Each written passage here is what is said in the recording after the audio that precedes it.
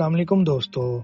तो आज की वीडियो में आपका भाई आप लोगों को बताएगा, नानजिंग चाइना में हम वीज़ा रिन्यू करने के लिए अप्लाई कैसे करते हैं और किस जगह जाना पड़ता है। सबसे पहले वीज़ा अप्लाई करने के लिए कुछ डॉक्यूमेंट्स की ज़रूरत होती है।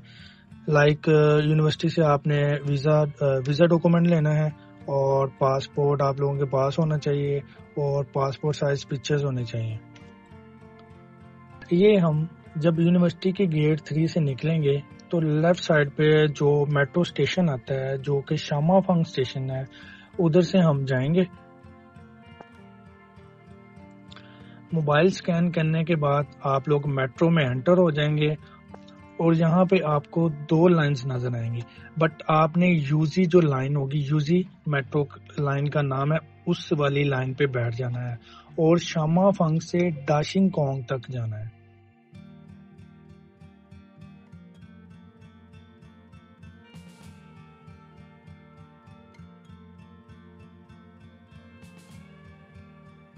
और जब आप लोग डाशिंग कॉन्ग पहुँच जाएँगे तो डाशिंग कॉन्ग में आपने लाइन थ्री पे जाना है।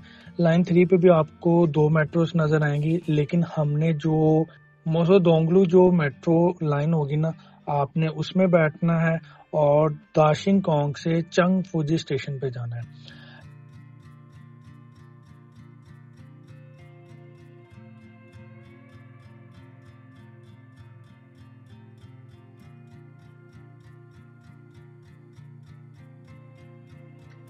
चंग फुजी पहुँचने के बाद आपने जो एग्जिट वन है एग्जिट वन लेना है।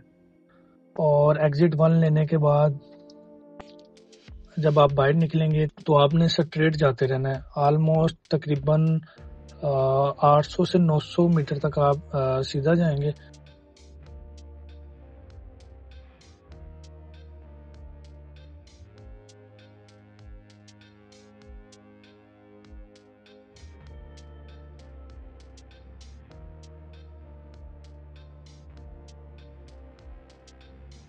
और आप अपने राइट कॉर्नर पे बैंक ऑफ़ कम्युनिकेशन देखेंगे।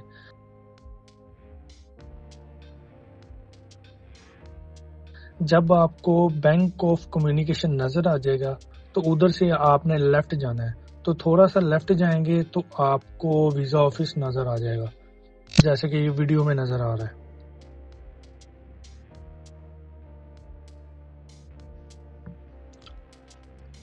वीज़ा ऑफ़िस पहुँचने के बाद फ़र्स्ट फ्लोर पे आपको फोटोकॉपियर की शॉप मिलेगी और आप लोगों ने जो फॉरनर्स हैं फॉरनर अपना वीज़ा अप्लाई के लिए सेकंड फ्लोर पे जाते हैं और वहाँ पे आपने अपने डॉक्यूमेंट्स वगैरह सबमिट करवाने हैं उनको और देन उसके बाद वो जो भी उसकी फ़ीस होगी fees almost four hundred R M B two eight hundred R M B होती है। वो पे करके आपको विद इन अ वीक आपको वीज़ा मिल जाएगा। आई होप के ये छोटी सी वीडियो आपको पसंद आई होगी। तो चैनल को ज़रूर सब्सक्राइब कीजिएगा। अल्लाह हाफिज़।